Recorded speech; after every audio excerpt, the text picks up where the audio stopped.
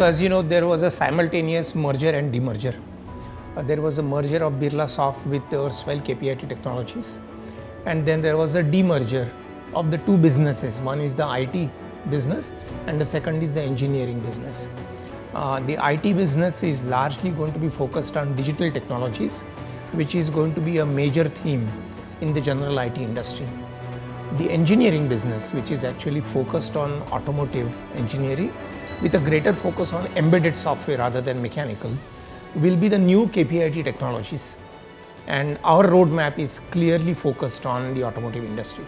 Well, you know, as, as, as you know, as you know, I mean, um, the auto industry is going through a bigger change than it has gone through in the last 100 years. And um, so there is this whole uh, new business model shared. There are a whole bunch of new technologies such as um, um, electric auto, autonomous, connected, and there are whole new possibilities of you know interconnectivity between the inside the vehicle or diagnostic opportunities, etc. So um, there are these umpteen opportunities which are coming up because of this big, big revolution. Our focus in the new KPIT technologies uh, is going to be on these five or six areas. Uh, we believe uh, we can, along with our partners like the OEMs, um, reimagine mobility. You know? So our credo is um, reimagining mobility with you for a um, cleaner, uh, safer and connected world. And we believe that there is a tremendous opportunity in this area.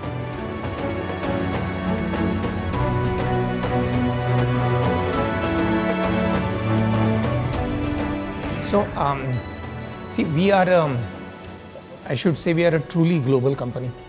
Uh, uh, we have, uh, of course, large operations in India, but we have very large operations in Germany, uh, large operations in the US, um, large operations in Japan, and now growing operations in China. So uh, we are not focused only on India. So in the context of that, where do we see big opportunities, right? Uh, we see big opportunities and we do a lot of work in the whole area of electric powertrain. And in the electric powertrain, it is um, uh, the motor control, it's on battery control, it's on battery management systems, it's on the design of the entire powertrain, um, and now progressively in the area of uh, new uh, alternate technologies, powertrain technologies like uh, pure batteries as well as uh, fuel cell uh, hybrid batteries. So we see a lot of opportunity there. As you know, um, in the case of conventional powertrain also, uh, there has been a lot of emphasis on uh, electronic part in the engine management and that has been a big area of operation for us.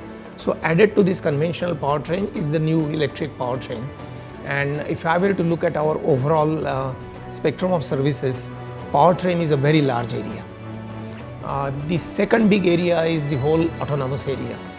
Now um, See, uh, when we talk of autonomous, the general thinking that comes up is we are talking about full autonomous. It's not, right? And uh, there are this whole L1 to L5, multiple levels of uh, so-called autonomy. So we have, a, and the OEMs are working across these whole areas. Uh, the L5 autonomy, uh, which is where, uh, you know, and if a person sits back and the car drives itself and it doesn't need any help of the human being is some years away. But the intermediate stages of driver assist systems are very much around us. And you see a lot of growth happening in those areas. So we see substantial growth in that. And the growth there is, uh, you know, development of new features, uh, development of full systems, testing. And you rightly pointed out, I mean, you need millions of miles of testing uh, before um, a credible company, an established auto company, will put fully autonomous vehicles on the road, you know, because I mean, there is just so much risk. Uh, that, so that is our second big area. The third big area is connectivity. So actually we have currently um, our software platforms running in uh, a few million cars in the US. So we do the platform, the software platform and uh, a Japanese tier one has done the hardware. So and that's a big operation with us. Uh, and uh, uh, another Japanese, um, so this first one was an American, is an American company the second one that I'm talking about is a Japanese multinational company who use our platform which we call as Connect for multi-device entertainment inside a vehicle. So that is a big area. So these three are really large areas. We are also seeing uh, good traction in diagnostics in the new context, you know, uh, the at the engineering level or at the post market level. Uh, so these are all fundamentally digital technologies, but in different application areas. And uh, so these are all the embedded technologies that go inside the car, but these are the technologies which, in my opinion, also help the shared mobility to happen. So, um, so it supports a new business model, but it also supports almost every area of the new generation of cars.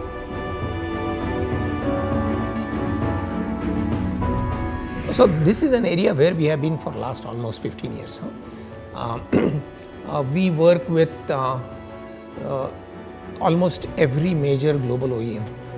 So uh, 10 of the top 10 OEMs in the world by the number of cars um, use our either services or solutions.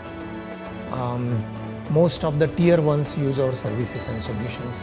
So it's a, we are spinning it off as a separate entity, but the main work we have been doing is for last 10, 15 years.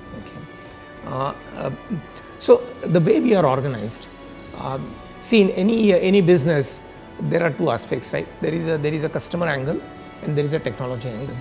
So uh, in the markets, we are organized by the customer. So we have somebody who heads Americas, somebody who heads Europe, somebody who heads um, Asia and the you know the whole Asia Pacific region. And under that, you have people who uh, look after OEM one, OEM two, or tier one, another tier one, two, or something like this. Okay, and uh, so that is how we are organized on the on the customer side. On the technology side, we are organized by the practice. So uh, the practice like powertrain or infotainment or connectivity or diagnostics. So our organization is like this.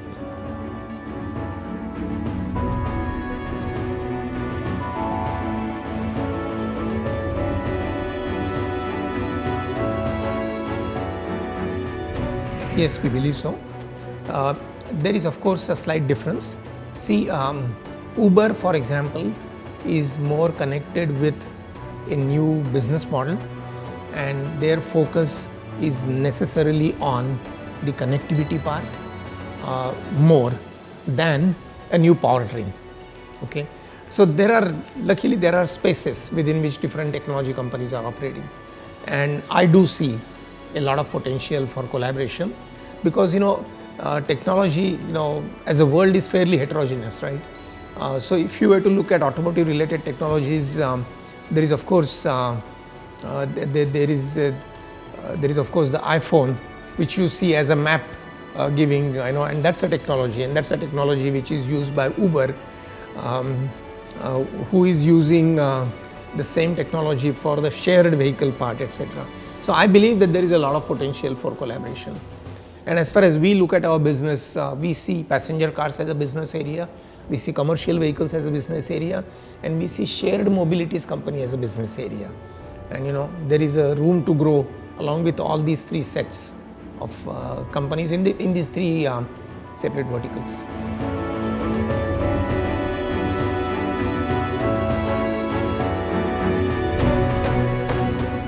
So, you know, um, fortunately, the two areas are uh, distinctly different. And uh, so um, uh, the IT area works with only two or three uh, companies which are in the automotive domain. And the automotive area uh, works with only two companies which work on the IT side. It's so most of the areas are completely distinctly different. The IT area is relating to, as I said, um, digital. Um, it is relating to ERPs, it is relating to um, SAPs and Oracles and stuff like that. And that is the growth path for them. The embedded growth path is in the pure embedded side. And um, so there are opportunities for collaboration because we, there are still two or three customers where both of us work. Um, but the areas are uh, quite distinct. Actually, the reason why we went for this merger demerger was also on account of the fact that both these areas have phenomenal potential for growth and we as a single company couldn't have given it the focus that it deserved. And now we are very happy because you know there is Birlasoft which is focusing on one area. uh, and we have focusing on the other area.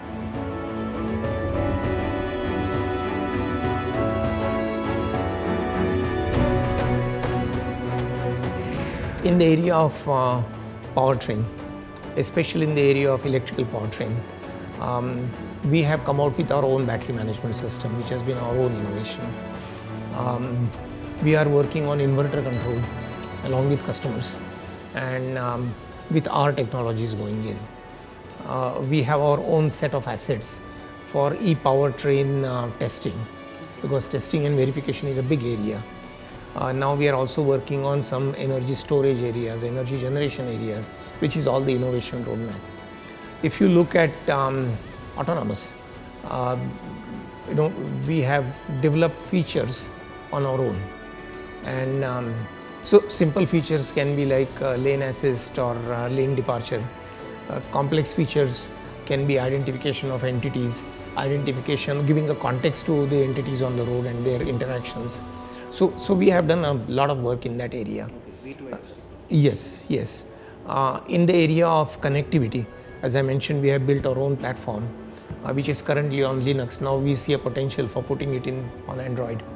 So there is a lot of innovation happening in each of these areas. Innovations uh, happen um, in um, in the application domain, like as I said, the infotainment platform or the uh, battery management system. Innovations happen uh, in the pure technology domain, like application of say AI skills or machine learning skills and solutions in these areas. Uh, innovations also happen in the terms of creation of software assets, uh, which can be used in delivering solutions. So, for example, if we are doing uh, verification or validation work, to come up with a complete test suite of, uh, of cases is an innovative way of doing things. So there is ample opportunity for innovation in all these areas and um, we are investing a good bit of money in this area. So we are at L3 with some of our customers. You may have read uh, BMW announced uh, a month ago, they rarely do that. Uh, they, they, they announced us as their um, critical partners you know, in the area of autonomous development. We have a very large team operating out of our Munich office, which is working in the autonomous area. And you know, uh, BMW, as you know, is a, is a technology leader. And uh, so we work with them in this area. So, um, so as you rightly said, this is our fifth year. And um, we couldn't have been happier with what we see, you know.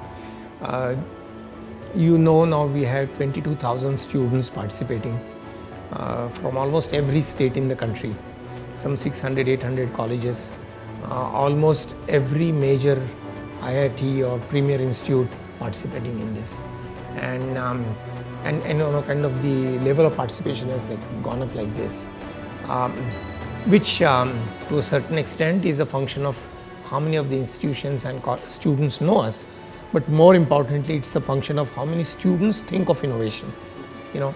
And uh, so as you would know, our format of KPIT Sparkle is fairly fluid.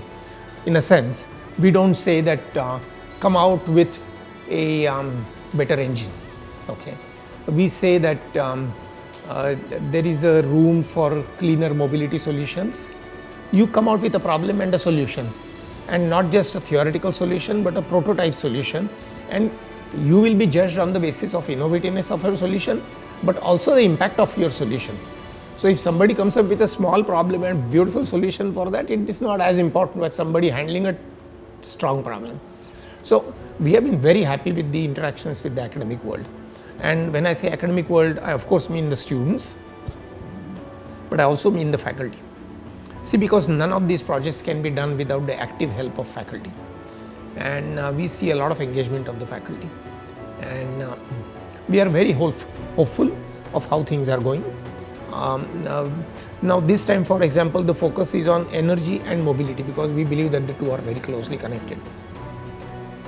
And um, I'm, I'm delighted at the response that we are getting.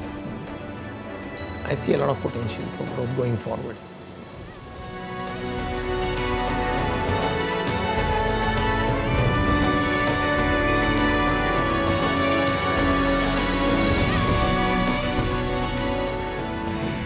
You see, um, I would think huh, that um, uh, we Indians are innovative by nature. Hmm? Uh, I like to say that in India, even if you have to cross a street, you have to be very innovative. Huh? The kind of vehicles which are passing, and you know, um, somebody who is trained in structured thinking uh, will not be able to cross a road without probably getting killed. Huh? So I think innovativeness is inside us. But um, quite often our innovativeness is uh, jugadu. Huh? Somehow the other do something and make it work. That of course has to change. We see a lot of, and you know, in my opinion, innovativeness calls for two, three things. Huh? Uh, a, it calls of, for ability to think differently, which I think we have.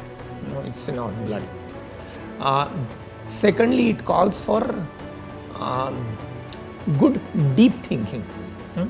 analytical thinking, how do you solve a problem, etc. And that calls for self-confidence, you know, essentially saying, I can do it. In the younger generation, I find all the three in ample measure. You know. I find a lot of uh, students saying that, yes, of course, I can do it. You know. I mean, you see, um, and this is a very good change I am seeing in the last few years. Um, you know, I have been observing cricket for a long time.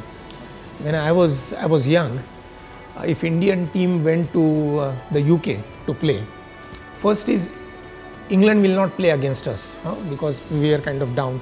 Marylebone Cricket Club played against us. Huh. If our opening batting pair had gone onto the uh, uh, to the field, all the way up to the seventh batsman were padded up. And I remember uh, we could get out in 50 runs, 60 runs. Now you watch Kohli batting, Shikhar Dhawan batting, or Cheteshwar Pujara batting. Hmm? They don't give a damn who is bowling, right? They whip, okay? That is the self confidence. And I see that self confidence, whether it is our cricketers or badminton players, uh, or, or software engineers, or our young students. I think that's a big change. You know? The, the, the feeling that um, we have arrived, uh, the feeling that we can make an impact um, is as much there as there is a, the, the, um, the fire in the belly saying that we need to do something at least in our country. So, so you will feel, you will see a lot of projects here which talk about uh, that, you know, the projects on energy generation, energy storage or electric powertrain or autonomous or semi-autonomous. I think that's a reflection also of the fact that sensitivity to the problems that we have and the uh, self-confidence that we can solve this problem. So I am actually very, very hopeful about the innovativeness and the potential for innovation in India.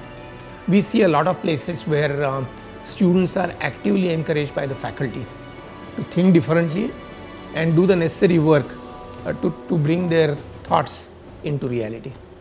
So